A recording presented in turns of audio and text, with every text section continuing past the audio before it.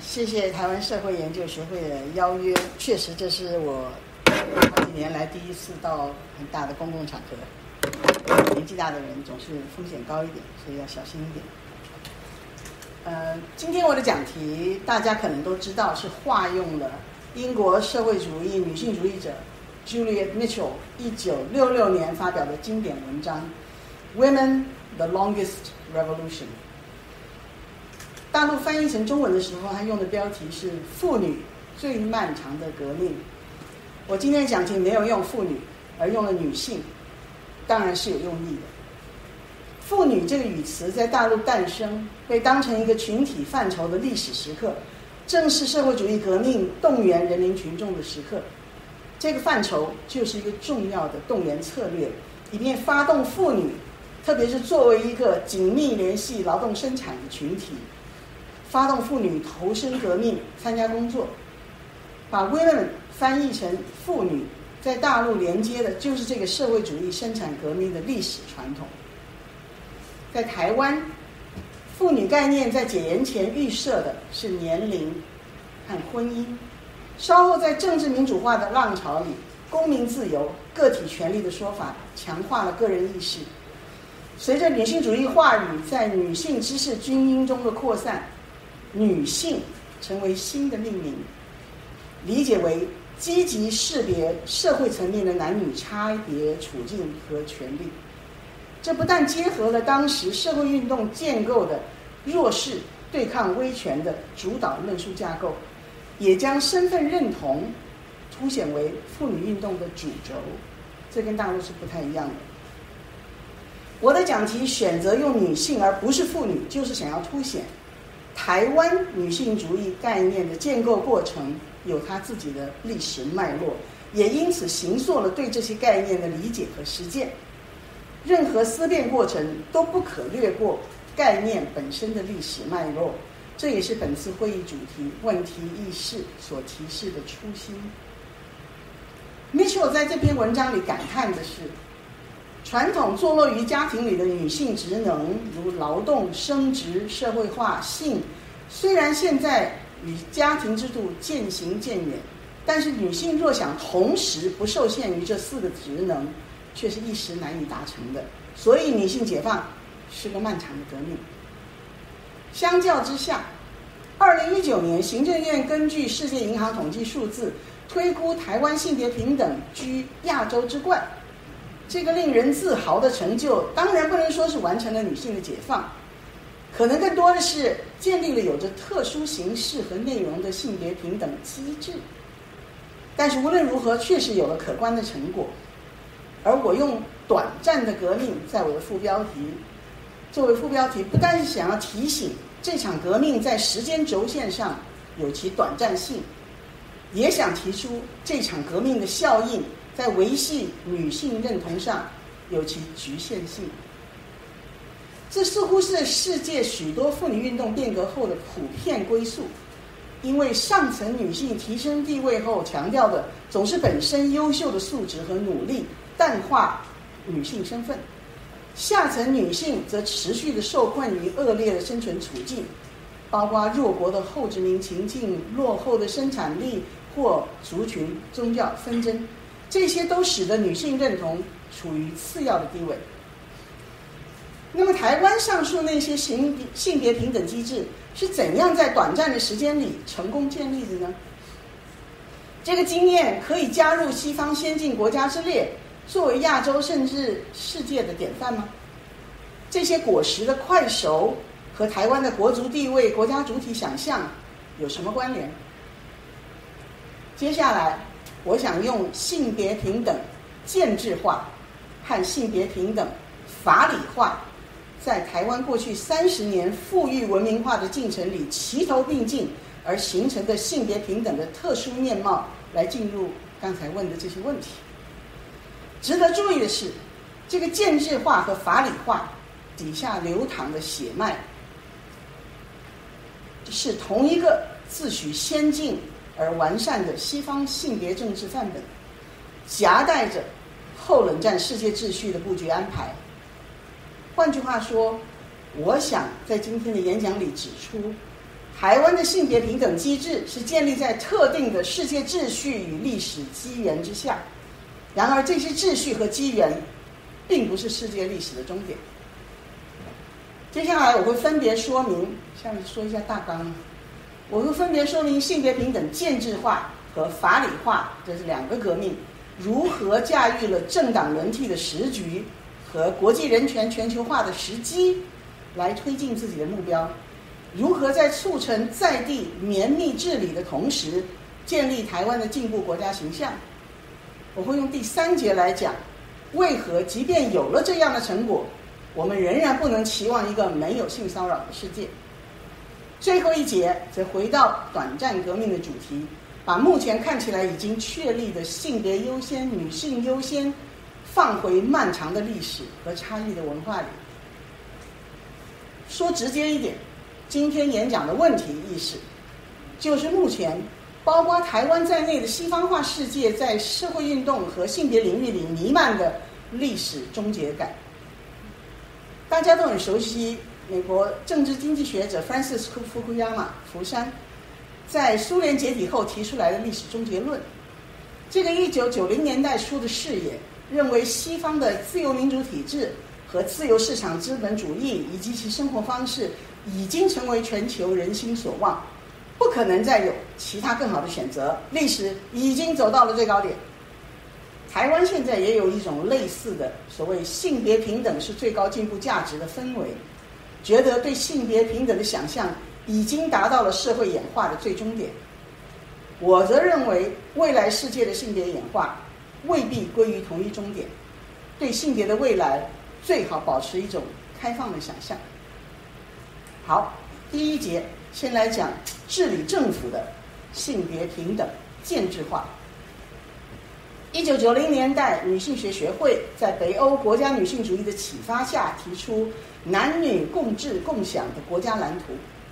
呼吁建立全民福利国，让传统上归于女性的照顾工作直变成为以国家预算支持的有偿劳动。不但可以壮大女性的经济实力，她们的社会价值也得到认同。而一旦整体女性的力量提升，就能推出所谓真正代表女性观点的女性国家主导者，如此将可彻底打破男尊女卑的旧性别关系，这是当时的说法。不过在当时的知识氛围里，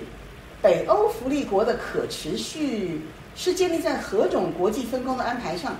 是否能普适于世界各地，这些问题并不在国家女性主义者的眼界之内。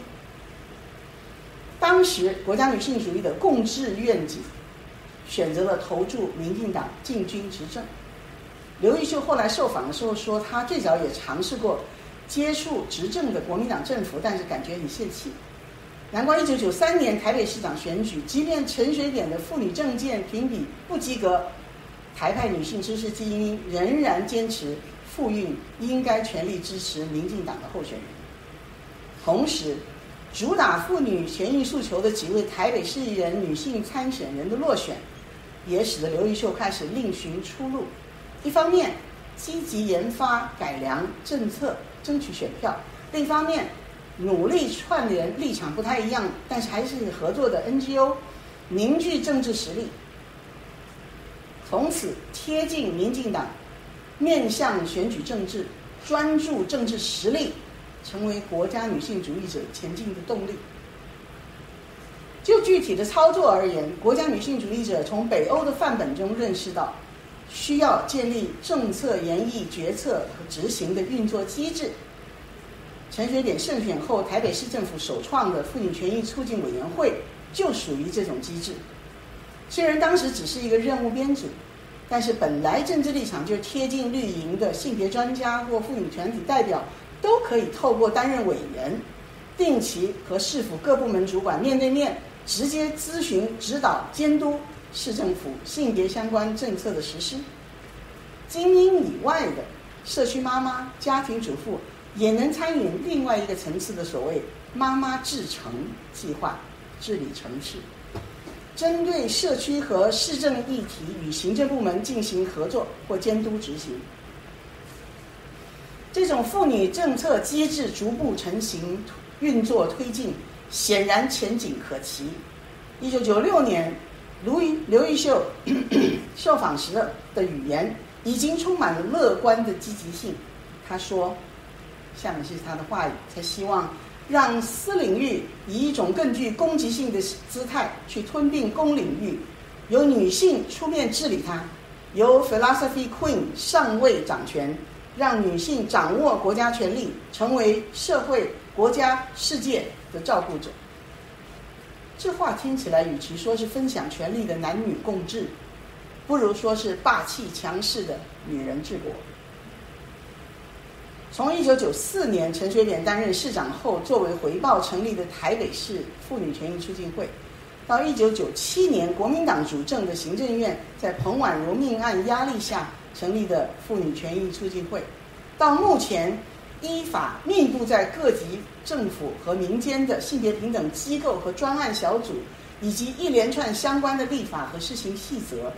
当然经历了众多繁杂。而且被女性知识基因凡尔赛为忙死了的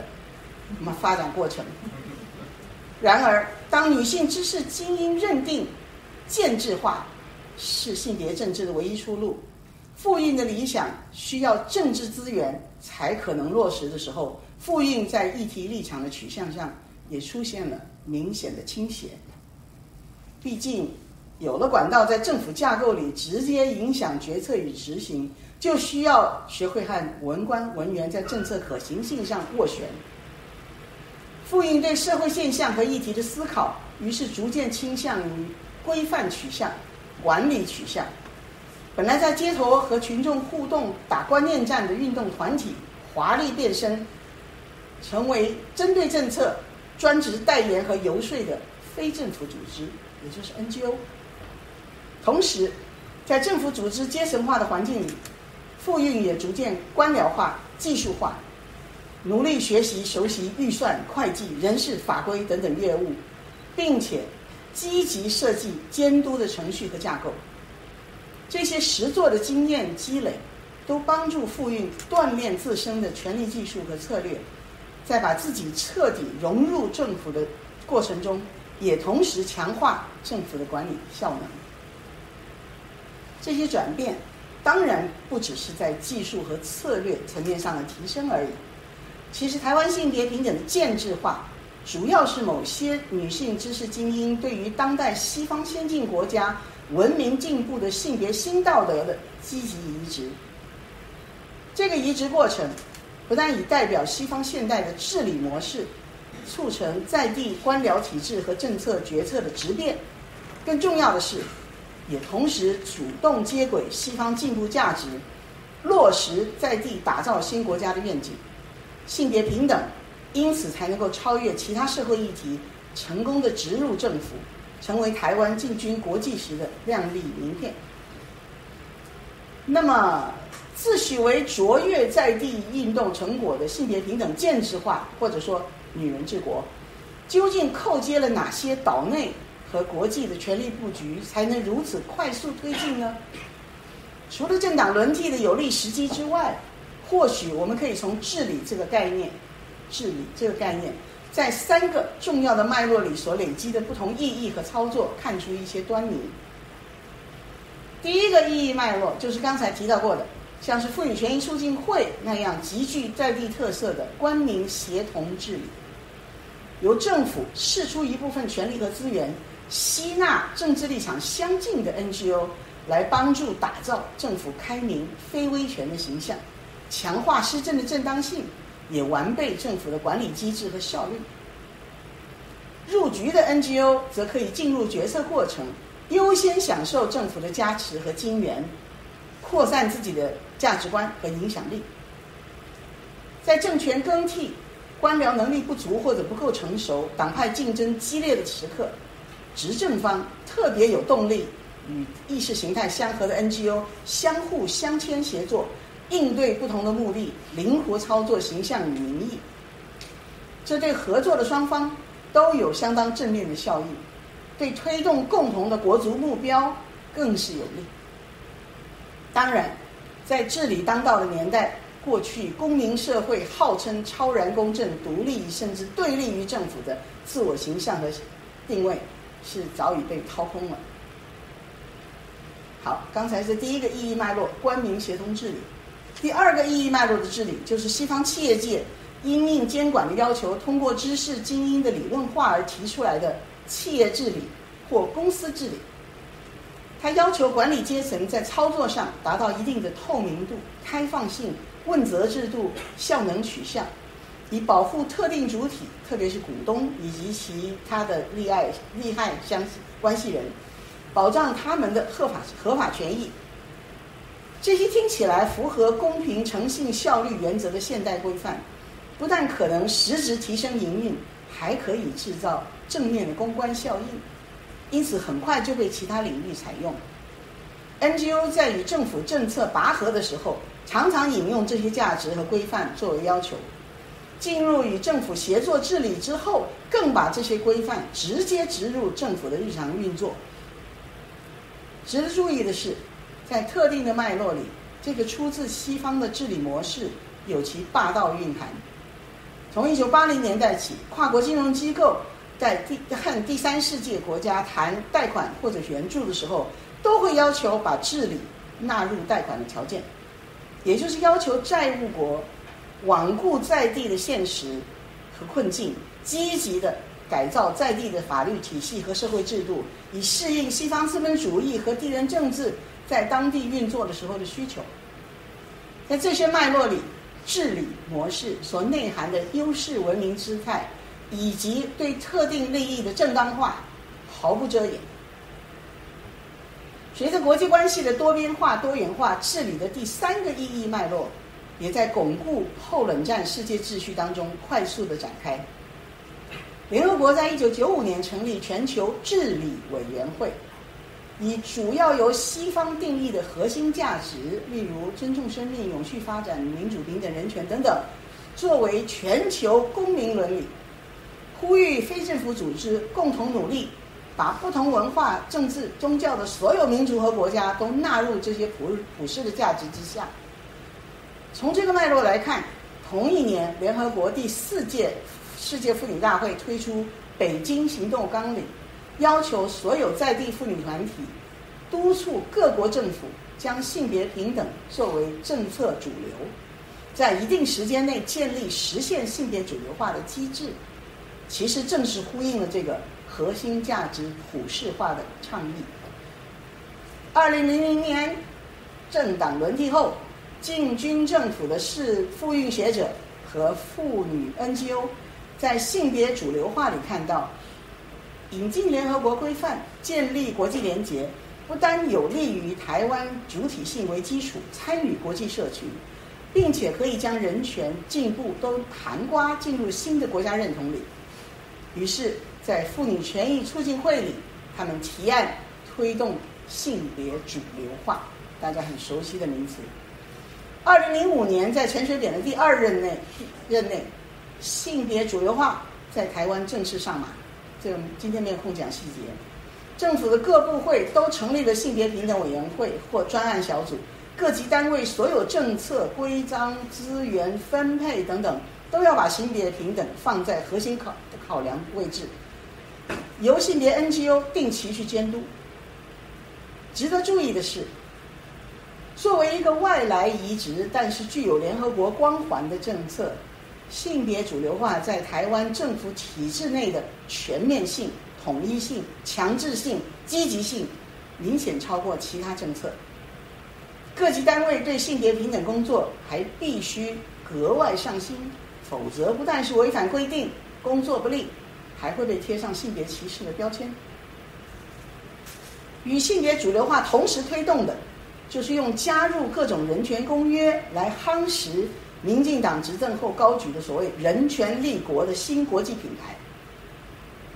除了将《公民与政治权利国际公约》以及《经济社会与文化权利公约》（简称“两公约”）内国法化，立法院在二零零七年也通过加入《消除对妇女一切形式歧视公约》（简称 “CED”）。这些与国际人权标准接轨的行动背景，就是以台湾的名义加入联合国。二零零八年入联公投虽然失败，C 道的加入书也被联合国秘书长拒绝。妇女权益促进会仍然敦促政府比照联合国程序，准备四年一次的 C 道国家报告，并持续举办培训活动和会议，邀请国际专家来台交流。二零一二年，在马英九任内，专责专职的一级单位性别平等处成立，C 道公约施行法也通过，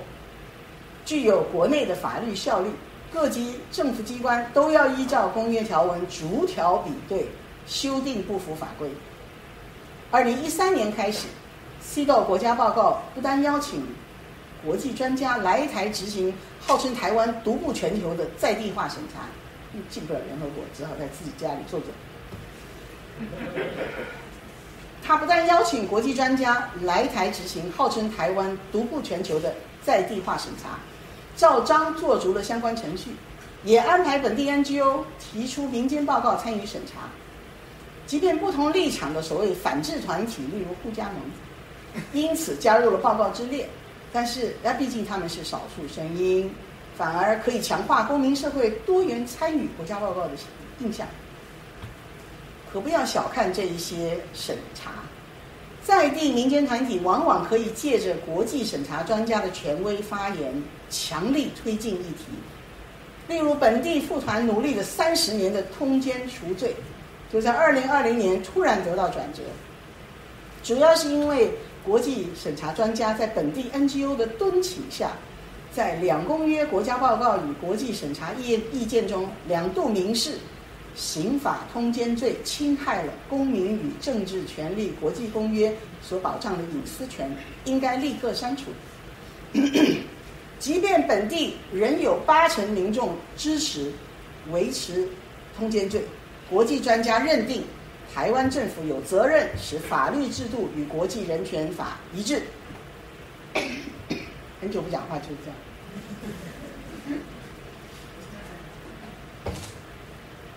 样。换句话说，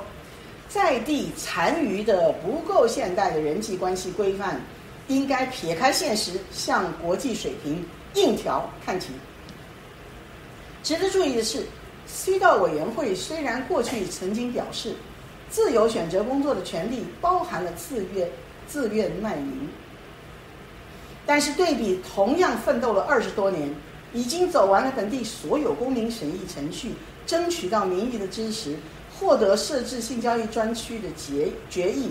可是至今仍然寸步难行的性工作合法化，国际人权在本地的适用性还是挺有选择性的。从治理的这三个意义脉络可以看到，性别平等的建制化，在台湾之所以能够快速落实，当然有赖一众妇女精英和性别专家对于引进先进范本、改造政府体制所付出的持续努力。但是更重要的推力，则来自于对内有官民协作协同治理所赋予的机遇、资源和正当性，对外。有奉行国际行动纲领和人权公约来打造进步国家形象的外交策略，而背后的内在、外在甚至经济条件，则是特定的国际分工和秩序体系之下的直接效应。建制化的女性主义学者、专家可能自豪于台湾能够通过性别平等的成就，成为文明进步的亚洲民主灯塔。然而，放在更大的环境里来看，此刻。也正是台湾政治经济陷入发展转型，以及中国大陆崛起跃升世界大国的时刻，台湾对自身进步与文明优势的自傲与宣扬，因此只是尝试置换它在政治和经济上越来越不确定的前景，避开台湾其实是在中美两大国全面竞争的脉络内才受到国际关注，但是也因此很难拥有自主性的尴尬现实。接下来讲第二节，女人治国的另外一只翅膀，也就是性别平等法理化。先这个，特别是这个法理化，怎么样去改变了台湾社会运动的战场？先提示一下，建制化与法理化对性别概念的理解是有差别的。性别平等建制化，刚才前面讲的改造政府，对于性别的认知是 gender only，唯性别。改造体制的目标就是无处不性别，让性别因素优先被考量，其中当然隐含了女性优先。性别平等法理化，则主要是把性别理解为 sex only，为性。改造体制的目标，呃，对不起，更精确的说，就是把男性的性暴力宰制理解为性别暴力，性别的内涵。因此，主张以严刑峻法来克制和惩罚，以保护妇幼。建制化与法理化对于性别概念的差别认知，注定了他们在治理模式之下操作的领域也不太一样。建制化的运作领域主要是政府，法理化耕耘的则是法律，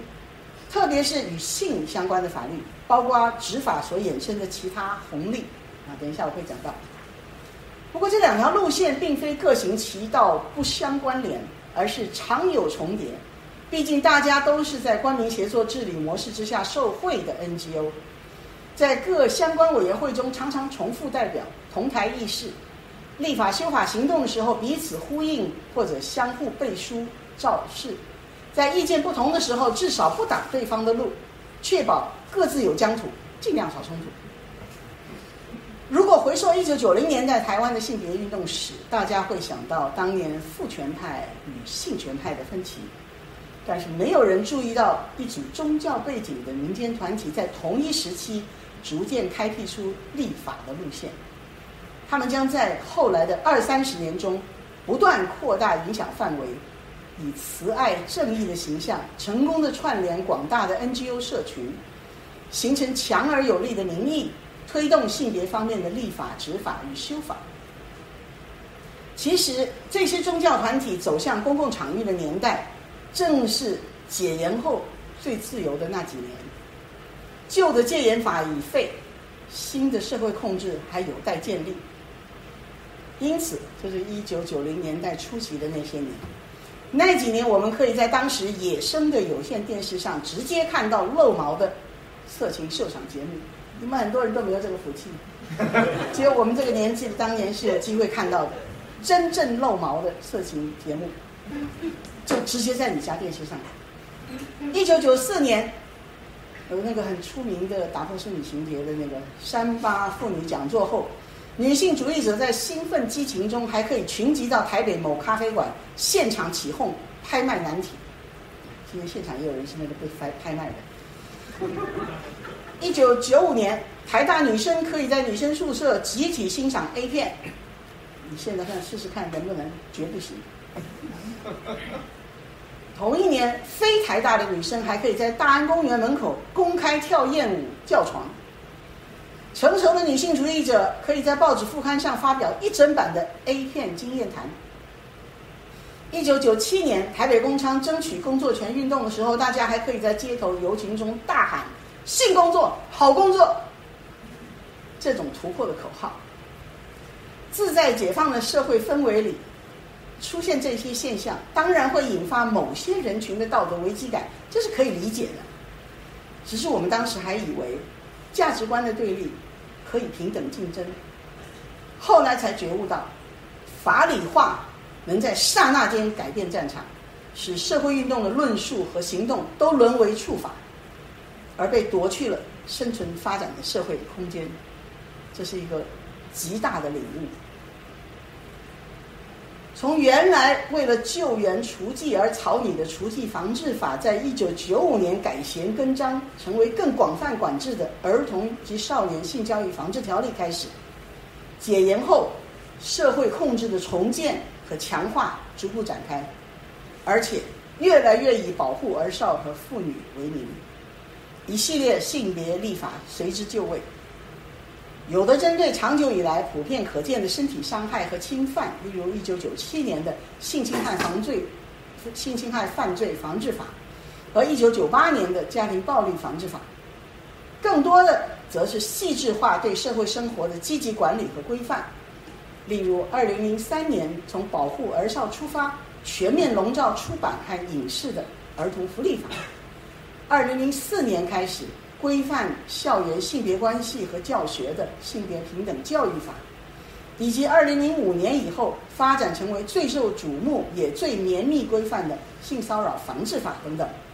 今天时间有限嘛，有兴趣的朋友可以去看一下我写的那本《性别治理》，可以看一下它整个的这个发展过程。现在我们仅仅针对这些性别立法的利益集团的成功策略。和贻害无穷，讲几个点。首先，推动性别立法的 NGO 非常的善于利用强烈的情感动员，特别是排挤其他情感反应的悲悯和义愤，来制造统一的民意和强制的道德观。这里的关键就是建立在脆弱主体的受害想象上，特别是他们面对性的时刻，在媒体的帮衬下，每一件性伤害案件。都在放大的报道中强化了脆弱苦情的主体想象，每一个新兴的性探索和新实践，都被加上了性危险的联想，绵密的保护因此成为唯一而且必须的回应框架。由此而生的民粹情感，不但使得性别立法的特殊地位合理化。也使得最终版本的法条更多反映了立法 NGO 的道德价值观和严厉的法则，而轻忽了法律本身的法益保护和比例原则。一波又一波结合媒体和网络的情感动员，更演练出大批脆弱的玻璃心，紧缩了理性讨论事实的空间。这是立法 NGO 情感动员的一个深远的后果。另外。性别立法重度强化了性污名的惩罚效应，例如网络上的性挑情、性邀约讯息，本来就是新兴科技在性逐渐开放的社会里的必然运用。面对媒体耸动报道而引发的社会谴责，一九九九年各大学的 BBS 站，啊，又是一个你们不太熟悉的名词啊，呃，古老以前的网络，各大学的 BBS 站都曾以停权。或者取消名片党籍昵称功能来管理入股的讯息。然而，同一年（一九九九年），《儿少性交易防治条例》却在修订中翘级加码，将个人网络讯息全部列入司法侦查对象。日常生活里漫不经心或者有心无意的网络留言，在一夕之间变成五年以下有期徒刑、得并科新台币一百万元以下罚金的犯罪行为。这是事实。立法团体还要求警政署设置特别的奖惩办法，鼓励员警优先侦办网络留言。听听说那个在那个优先到一个地步，十大枪击要犯都不追，就坐在冷气的房间里面看着荧幕抓援助交际讯息。一度曾经将援助交际的“援”字的所有同音字都列为处罚，是真的哦。你们如果回头可以去看一下，所有跟“原相同样的声音的字都被视为是触法，造成了广泛的钓鱼诱捕和援交文字狱。就连普通的性邀约或者吹嘘自身的性能力与性装备，也被远警直接认定让小孩子看这种讯息不好而移送。那时候真的是，嗯，你们一定要去看我这这个编写的另外一本书，四百多页的。人就交际在台湾，那个血泪史，我就拼死也要把那一本书弄出来，就是因为不能让人忘记。从一九九九年到二零零八年，奖惩办法终于被废除的这十年内，被认定张贴了明示或暗示性交易网络讯息而被移送的人数是两万五千人。虽然最后定罪的只有四分之一。而且，就算判法官多半坚守比例原则，只判六个月以下一颗罚金。然而呢，另外的一万九千多人都同样经历了东窗事发后被传唤出庭等候判决的惶恐痛苦过程。而由于网络留言无法断定辖区归属，有些案例甚至被好几个县市的派出所先后传唤，南北奔波，疲于奔命。最高的记录。一鱼九吃，你们也需要看我的那一本《援助交际在台湾》真实案例，告诉你，这将近两万的网民，这是一万九千平白无故被拉的拉进去这个司法过程。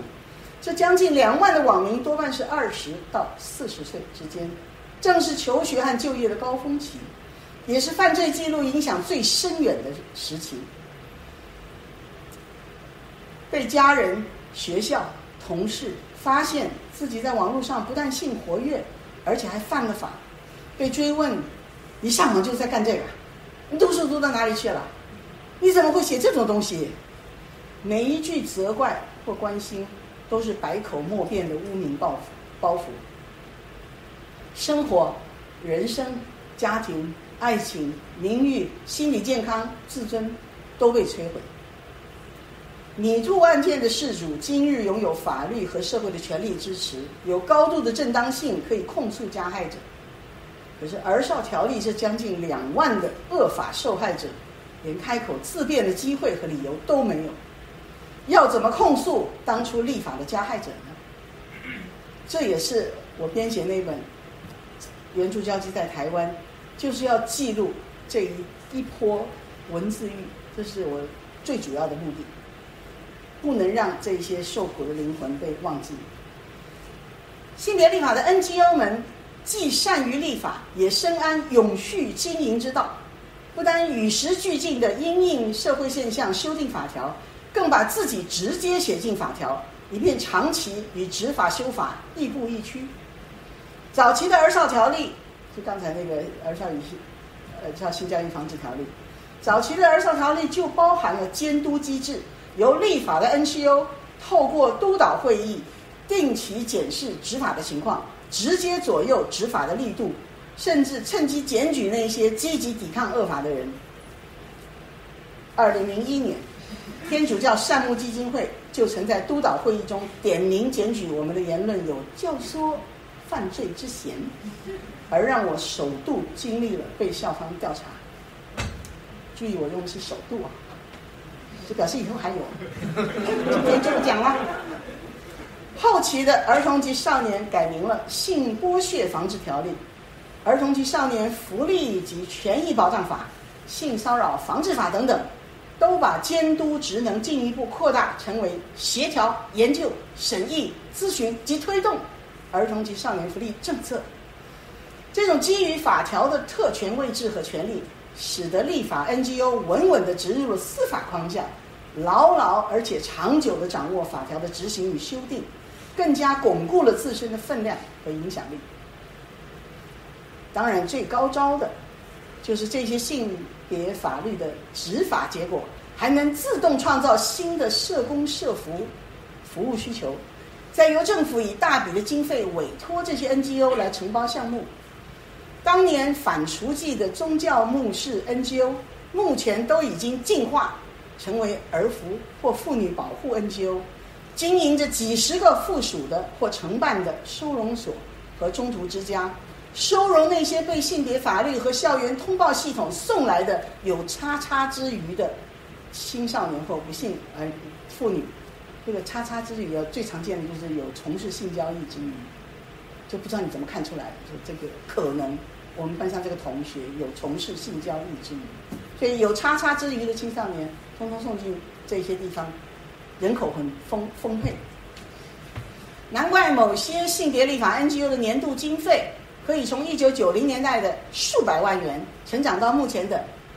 有一个最高的是六亿一年，另外还有一个跟它并肩的三亿，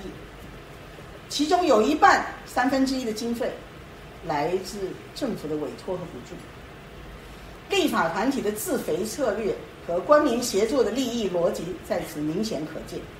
而这些团体持续倍增的财产资源和良好社会形象，正建立在无数被恶法践踏的年轻灵魂上。另外，还有一个重要的边际效应，这个事业真是太好了。这些服务项目还可以大量的积累立法 NGO 的社服业绩和名声，然后以政府部门的金源迁入全球公民社会，承担起突破外交壁垒的使命，打造新国家的纯净道德形象。例如，性别立法 NGO 很早就夹带政府官员，参与反色情、反性交易的国际会议，也参与各种国际色情监看、网络检举热线联盟，以建立国际联系与国际接轨。最积极的立法 NGO，目前在参与联合国妇女地位委员会会议之余，已经有实力以政府的补助承办世界妇女安置大会，举办亚洲妇女安置网络。台湾核心会议，或者自创亚洲女孩培力网络等等，这些活动的性质都不再只是过去的国际参与或者国际联结而已，而是更进一步摆出领头羊的姿态，企图在性别议题版图的边缘构筑起台湾的主体性和区域核心地位。希望以上的描述让大家了解了性别平等机制。在建制化和法理化这两个庞大工程里所形成的特殊面貌。接下来第三节来讲一个在性别平等笼罩之下的现实议题，就是好像很多人很关心的那个议题。目前舆论最关注聚焦的性别平等领域就是性骚扰，建制化和法理化也都围绕着这些性骚扰建立了非常严密的防治和处处理机制。但是除了这些官方论述和制式规范，除了脸书上面的米兔控诉和一些小作文之外，能对性骚扰提出什么样的深入分析，而不至于遭到删除或者围剿，还是一个让很多人再三踌躇的事情。一九九四年，我在反性骚扰运动里多次说到。性骚扰不能被简化成为坏男人骚扰女人这种个人之间的互动问题，也不能被性别暴力或男性压迫这样笼统的结构问题所涵盖，因为还有其他更多深层复杂的历史文化社会因素在同时发生作用。我在游行指挥车上发言的时候提到其中的一个因素，那就是情欲文化的贫瘠和封闭。使得男人、女人对于性的表达缺乏资源、经验和传承的积累，不懂得如何互动协商性方面的接触，因此造成骚扰。当然，那个分析是情欲解放运动当下的关注，完整的图像绝非仅止于此。其他造成性骚扰现象的社会因素，值得今天再多说几点。一个很重要的历史背景。就是现代人际关系的广泛平等化和性化。过去师生见面不会直接等同师生恋，上级和下级谈事儿不会立刻被当成私情，但是现在各种接续樊篱都被挑战，人际互动趋向平等化而拆解了部分欲望的樊篱，就连通奸都脱离了刑法的范围。再加上当代高度性化的社会氛围，任何人与任何人都可能发生人与人的接连接，都可能形成或者被当成暧昧关系，因而造成彼此在判断和互动上的混淆与困难。这是当代性骚扰大量出现的背景之一。当然，这也是锻炼我们以平常心来应对无所不在的性骚扰的机遇。面对这些已经形成的现状和趋势，仅仅以规范和法律来强加新的人际樊篱，或者以粗暴的社死来严厉惩罚，恐怕只会造成更多问题。就算真的发生人际摩擦，在对待上也应该有多样性的渐层差异。因为性骚扰不但有轻重程度的区别，还有性质的不同，因此不能像现在以复仇主义式的义愤一刀切的严厉制裁。特别是当涉事者沾上某些社会因素，例如他是名人、公职、教职、已婚、年纪大、求偶条件差，这种案例几乎毫无转圜余地的，都会遭遇即刻的社死。在我们这个高举平等。对成见和歧视非常敏感的社会里，这是一种很诡异的偏颇。另外一个很少被人反思的因素，就是在异性恋的求偶文化里，直到今日，欲望的基本结构还是男性主动。承不承认？你们女生承不承认？这是男女情谊互动的唯一起点，女人也期待这样的脚本。同时，女性被动自持、欲推还拒、不直接表态，仍然被认为是点燃男性欲望的触媒，甚至是双方情欲探戈的挑情舞步。既然这些脚本持续是主流，男性被要求必须主动，否则双方不可能发展关系。但是男方主动就有被当成性骚扰的风险，求爱不成可能让对方惊惶愤怒，感情生变可能招来愤怨怨愤控诉。现在又不太容许太多解释的余地，说什么都被当成狡辩脱罪，接下来就是控诉和热射死。这种动辄得咎的矛盾混乱，长此以往，势必在求偶人群中形成各种的踌躇、张力和冲突。但女性这边，很多主体都说自己是以无知、惶惑、害怕和混乱心情和手足无措来经历所谓骚扰时刻。那些感受当然不能直接等等同于不舒服。那么这些混乱复杂、无以言状的感觉究竟是什么？是对原有关系突然改变性质而感到不解困惑？是因为不在求偶选择圈里的男性突然表意而不知道要如何回应，是在新的视觉触觉互动冲击下的能量超载宕机，是对即将发生的未知的下一步的惶恐、害怕、矛盾挣扎。有些主体甚至根本无法理解自己的感感受和意愿，遑论遑论对方哈。最终就像一篇脸文说的。只能让灵魂飘到天花板上，以彻底的失语失能来关闭认知，避开反对，避开面对。这位受害者对自己的无法直面、无力拒绝是有一些反思的。他说：“这个社会这样养大一个女生，到头来，我想说不都要很礼貌，连说不要都要用沟通的。这里透露出来的软弱。”并非都来自性别调教，有很大一部分其实是文明化的结果。我在前面把台湾的性别平等建制化和法理化框在过去三十年台湾的富裕文明化里，就是想要指出，是在和平、安定、富裕的物质基础上，在现代服务业高度发达的环境里，礼貌和秩序才有了发展的空间，也才形成了文明交贵的台湾最美风景。而随着大部分人群的阴柔化，人们越来越习惯安全安稳，不觉得需要有什么心理防备，警戒心和防卫力都不发达。然而，不那么放安守分寸、不那么守分寸的举止仍然会发生。安定富裕也注定不会永远持续，矛盾敌意有可能酝酿扩大，文明举止和规范措施因此也会逐渐失去。物质与环境的支撑。若是文明化和优雅，在面对像是一般性骚扰的时候都捉襟见肘，那么遇到更为敌意的场景，或是未来动荡动乱的社会氛围，接下来的结果就可想而知。或许现在大家真的需要开始积极的反思文明化与阴柔化的缺陷，而非优点。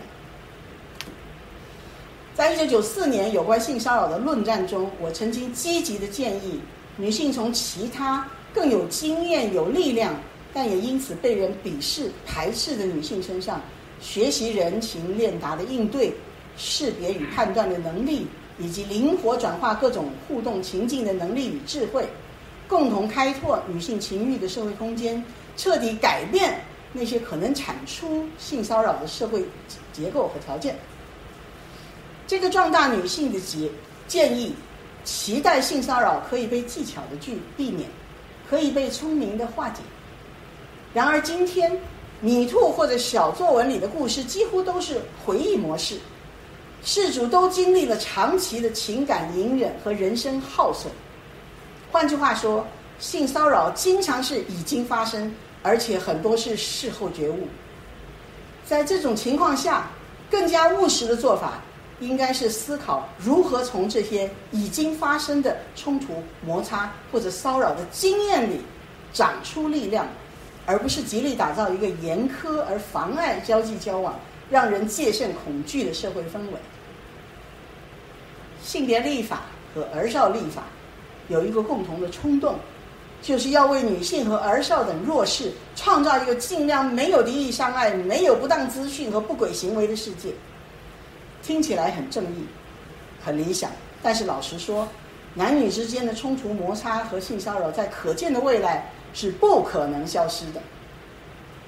除了前面已经提到的平等化与性化。男性主动的欲望结构，以及文明化对主体造成的失能等等社会原因之外，这个世界毕竟不是只有性别，而是还有各种结构上的对立、矛盾、张力、冲突，而且他们都可能以性别和性来表达或发现。既然侵犯和伤害无法避免，那么弱者多多少少都需要学会面对敌意、处理敌意。或者至少与敌意共存，甚至像三十年前清大小红帽运动那样，认真思考壮大反击的力量。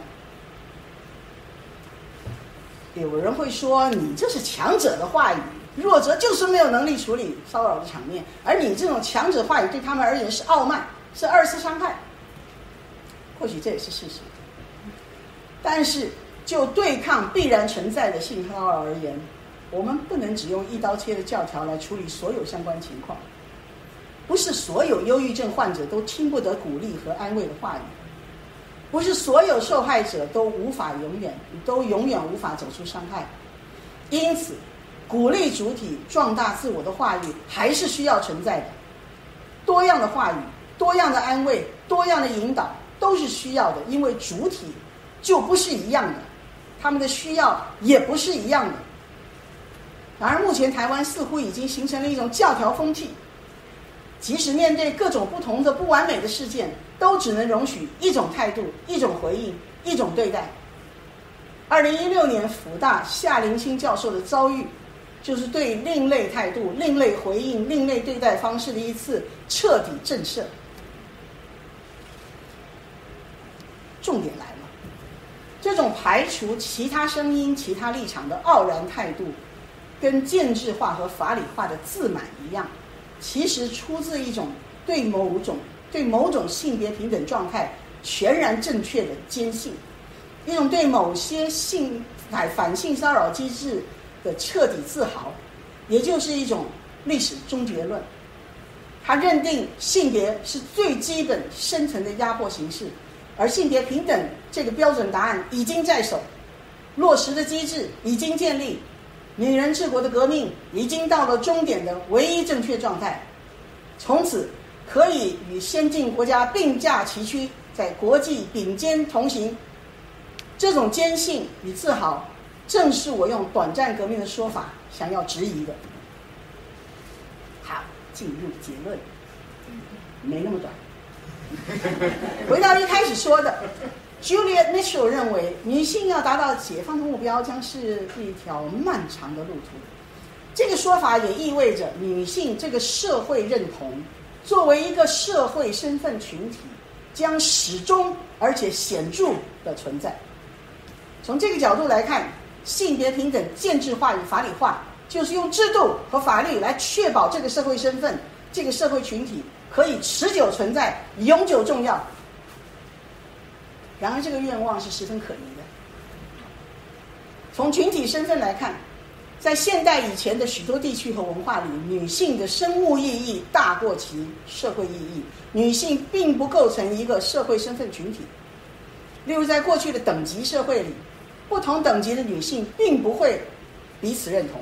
也无法产生跨等级的认同，因此很难说所有生理女性构成了一个社会学意义的群体。这样一来，把社会性别身份直接回溯适用到古代社会，那就是很有问题的做法。毕竟，只有在现代的条件下，配合着女性进入职场就业和劳动契约下的法律身份，以及现代妇女的意识形态，才能诞生当前的女性意识群体与社会身份。我开头提到过，女性认同在未来的变局里可能变得不重要。因为精英女性取得了权利，强调个人能力，淡化女性认同；底层女性因为生存所需，可能更注重经济而非性别身份。这样一来，女性认同就有可能全面弱化。另外，女性群体的在社会里的重要性也可能会被其他群体所取代，例如各种随着身份的分众化而出现的新身份群体，或者像是科幻世界里与 AI 相关的身份群体。这些新出现的身份或许更能取得生存所需，更能适应新科技、新组织，因此逐渐取得更重要的社会群体位置。女性则变成次要的。不管如何，我们不能缺少这方面的想象力。再从现代化的角度看，不同社会进入资本主义生产的时刻、条件、形态各有其各自的脉络和特殊性。现代化在不同文明阶段里会发展出什么样的具体面貌，并不是全球一致的，而且还会不断的变动。像现在逐步成型的中国式现代化。就是一个很好的例子，而且现代化过程里虽然出现了性别平等这样的理念，在不同国家、不同文明传统的现代社会，仍然可能会维持各自的性别安排或价值，拒绝顺从西方性别平等的普世价值，这还是可能的。其实，只要我们放下历史终结的想象，就会看到，在很多不同的文化里，像是家庭、历史。传统、宗教和国家这种更大的范畴，都在很长的时间里继续存在与演化，并不会像西方所说的那样必然趋同或者消亡。女性反而未必比这些范畴存活的长久。毕竟这世上还有很多其他的支配关系和基本冲突，比如国家之间、文明之间的冲突、族群、阶级、贫富差距、文化、宗教差异等等。而且大家应该都看到了。西方过去百余年来所定义而且主导的现代化发展路径，正在经历强而有力的新实践新理念的挑战。这个百年未有之大卷大变局，非常值得关注。总之，像性别平等这样的价值或社会安排，总是必须和整个共同体的组织方式、物质基础等等相适应配当。对很多生存状态而言，例如在战争、疫情、贫困占领之下，社会的凝聚团结都是最优先而且合理的价值。例如，巴勒斯坦妇女儿童的命运就是不可能超越巴勒斯坦国家处境来决定的。也因为如此，性别平等，特别是有关个人自由解放的预设，不应该也事实上不可能是必然普世或者历史终点。我相信，反历史终结论的看法，才可能帮助我们理解当前世界不同文明文化之间愈演愈烈的冲突。最后，真的最后，我并不是只针对性别发出短暂革命的提醒。人民大学的潘春明教授追踪研究中国大陆二十七岁到三十五岁人群的无性者。二零零零年，男性无性人数占了百分之二点四，女性则是百分之零点七。可是二零一五年，在十五年之内，男性无性人口增加了五倍，女性增加了十四倍。潘老师推估，如果二零二零年也曾经做过调查的话，无性人口应该会再翻一番。这显示，如果在大陆以及其他许多国家地区，相当一部分年轻人不但选择单身。还是无性单身，并且逐渐适应了这样的生活方式。就这样的趋势来看，伴随着女性解放出现的性革命，也许也将是短暂的。谢谢。